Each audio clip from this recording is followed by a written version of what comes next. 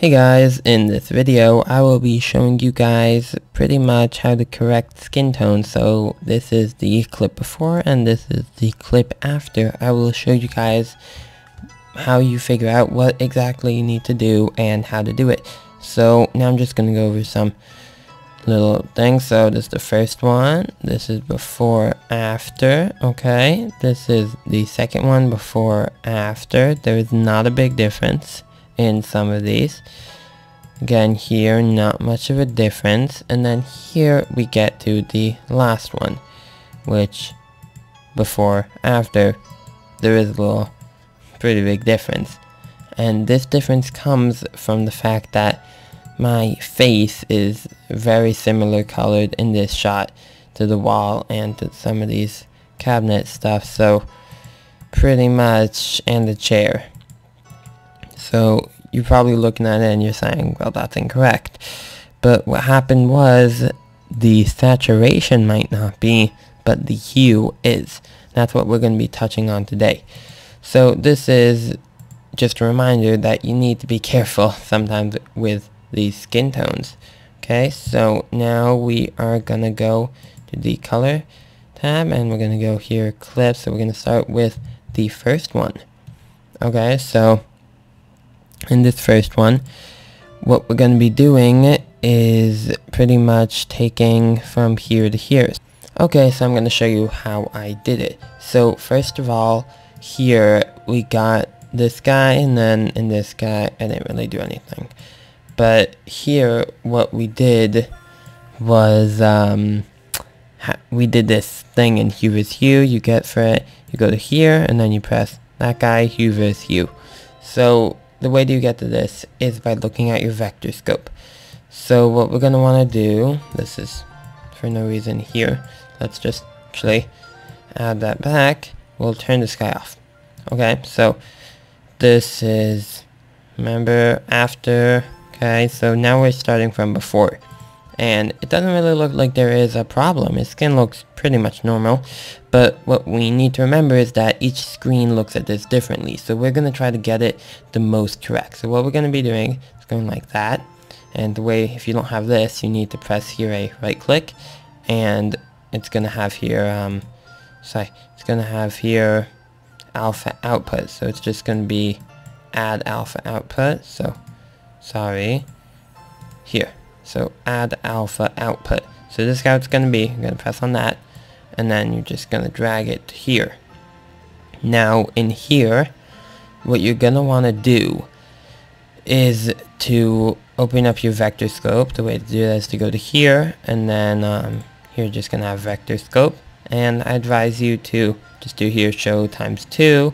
Bring this brightness up. If you want, you can bring that guy a bit down, up, do whatever you want and then I like to have on colorize and you need to have this on sh show skin tone indicator. Okay. So now that we got that we see not everything's on the skin tone because we're looking at the whole image. So what we're going to want to do is just look here at his face or more at his skin.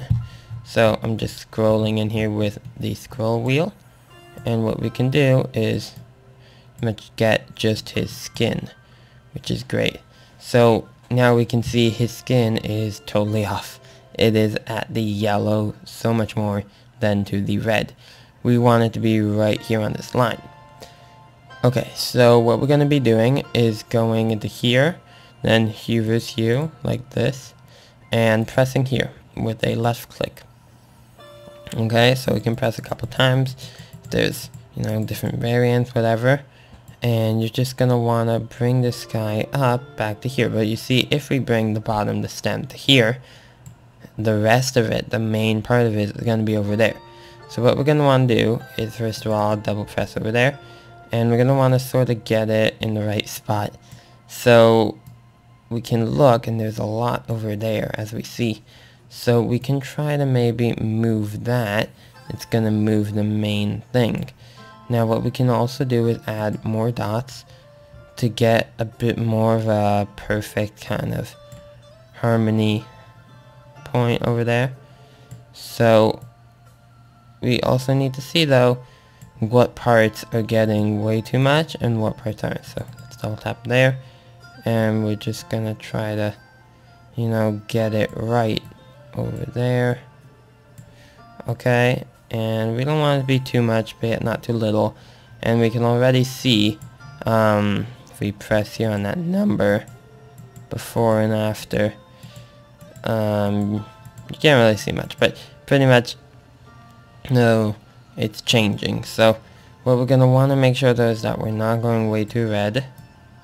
And yeah something like that. We don't really want to pass the line as it looks way too red. But moving a bit to there looks pretty good. So now what we're gonna do is just go like this and then redo that and we can pull that guy out. And then what we're gonna be seeing here if we go like this before after.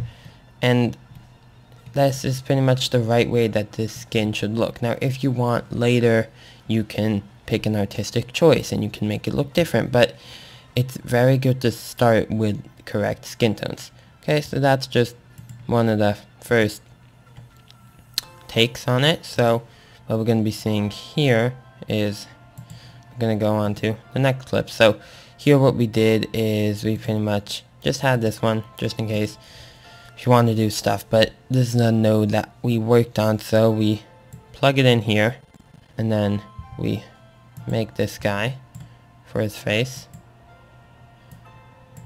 And over here, what we do is we just look the vector scope and we put it. So if um, here, so if I'll redo that, it was just a bit too red for me over there. So what I did is I just brought it a bit back.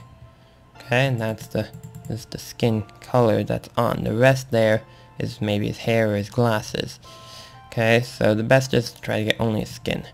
Okay, and then you can see here, there is a tiny, tiny difference. It is a bit more pink when we um, do it, I think. I'm not sure, but you can see on the scopes over here that there is a difference. It is changing. Okay. Then here it was pretty much the same, the same thing. You know, for and after, same thing. And then here, bit problematic because we have a lot of stuff at the same hue. So we need to be very careful and cautious. That's pretty much it. So I hope you guys have enjoyed. Don't forget to leave a like and subscribe and comment on what you guys want to see next. Bye.